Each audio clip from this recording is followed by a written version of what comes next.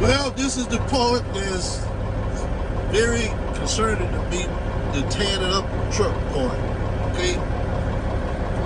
I have to take these off because it's hitting so hard it's breaking it's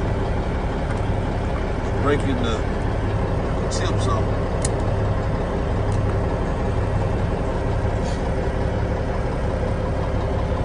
Let me show you what I'm talking about. People think she ain't getting down or she getting down.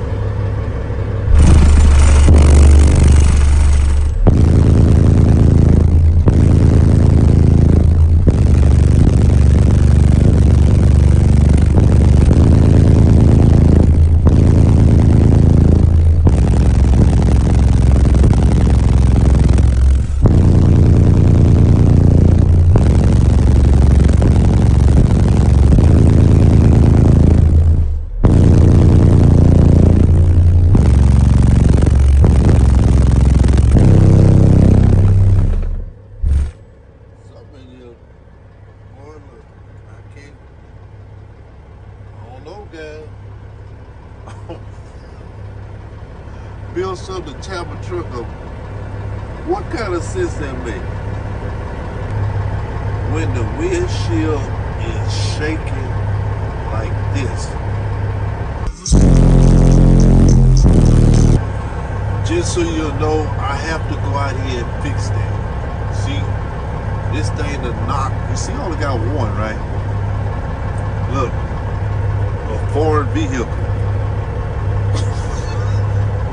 I got to knock the windshield wipe off. Man, I tell you, man, this have exceeded my expe- expectations. I'm proud, but at the same time, guys, I cannot. I didn't build it. I don't know what I'm trying to say, man, but I can't tap a truck up. Not until I give a YouTube channel where it needs to be, where I just ride around and just do demos and make money. But this thing is really blowing my mind right now. Ain't nothing happening over here.